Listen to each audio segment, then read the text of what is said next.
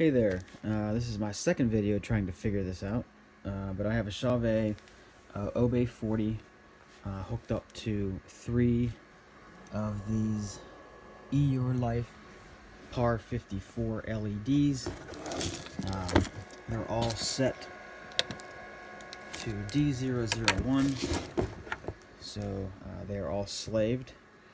Uh, when I go down here, apparently this is supposed to be my channel 1, 2, and 3, so RGB, uh, but for some reason that is not what's going on here. So this is my, this is supposed to be my intensity and then my color channels, but this one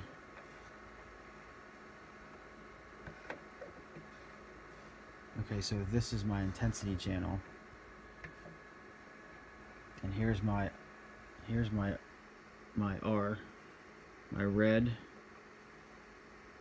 my green my blue and my white. So if let me just for instance I'll put up the red. This is my intensity right here.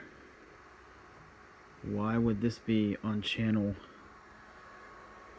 4 I thought it was supposed to be over here.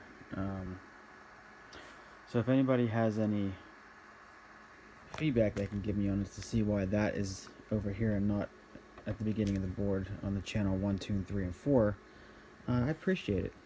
Uh, again, these are all set to D1, D001. Uh, yeah, so uh, any feedback would be great. Thanks.